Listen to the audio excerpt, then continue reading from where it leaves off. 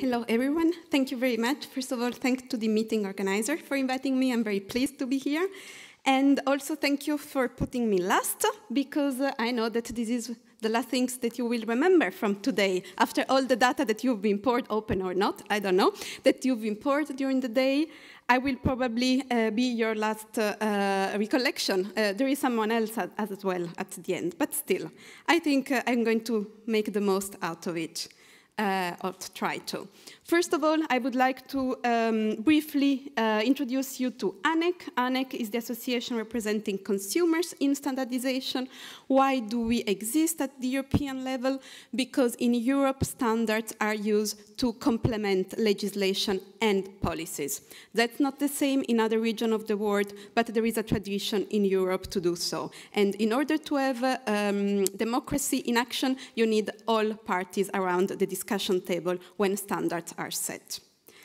Now, I would like uh, to uh, focus my presentation not so much on the open data discussion, we had it already a lot this morning, but more about uh, how in general openness and uh, interoperability can help consumers face challenges that uh, we are all facing. And one of the uh, most important challenges, it has not been discussed so much so far, and I'm quite surprised, is the demographic trends that our societies are going to face.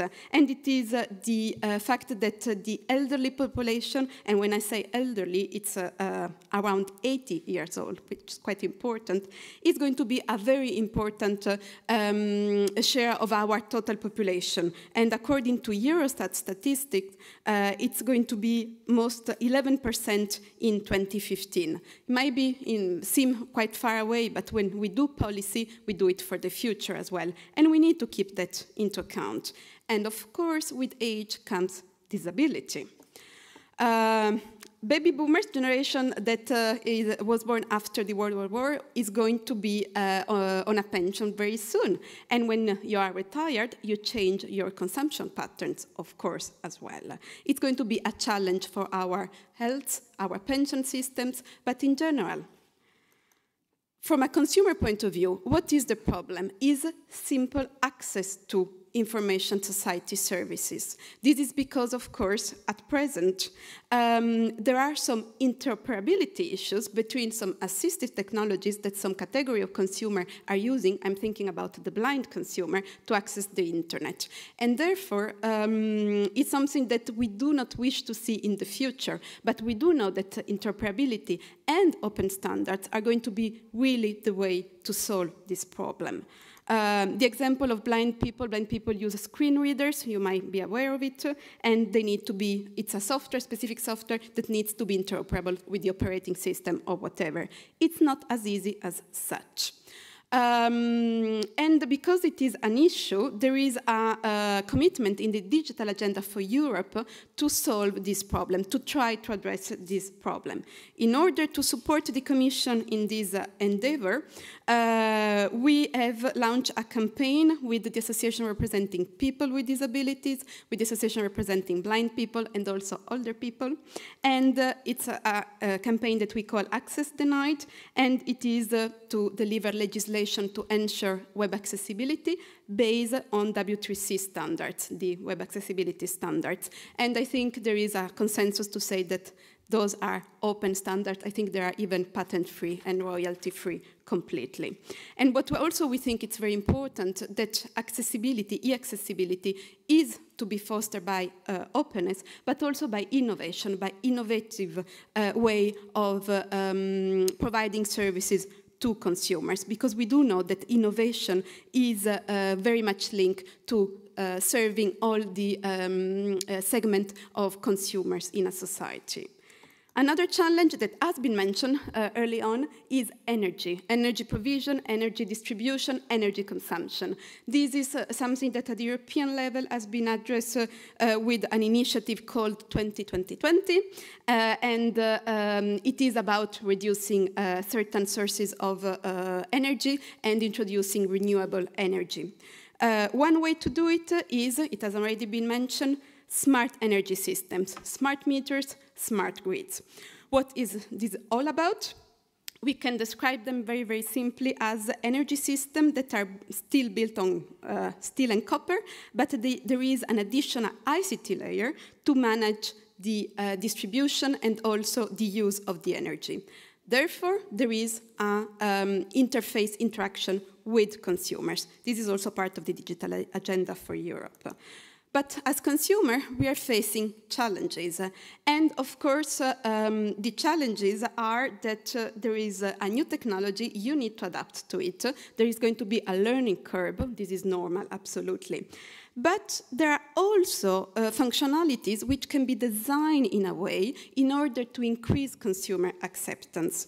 And one of the most, uh, let's say, um, important concerns of consumer is their privacy protection, personal data and privacy protection. This is something that has already been an obstacle in the rollout of smart metering system in some countries. I'm thinking about the Netherlands, for example. Uh, in other countries, it doesn't seem to be the same. Uh, in Sweden, everything works perfectly, we've been told, but that's the Scandinavian countries. They often have very positive um, experiences all the time. However, data access and ownership and how to handle this data is really key for consumer acceptance. And um, the um, position that we have is that privacy should be designed since the beginning of the system. This is actually a general posi position. It is the so-called principle of privacy by design. And of course, open standards and interoperability are there to serve this principle.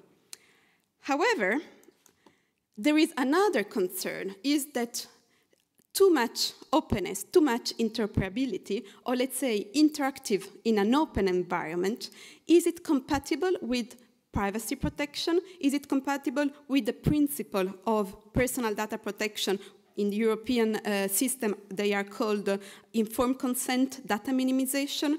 This is something that uh, is uh, um, especially sensitive for medical data.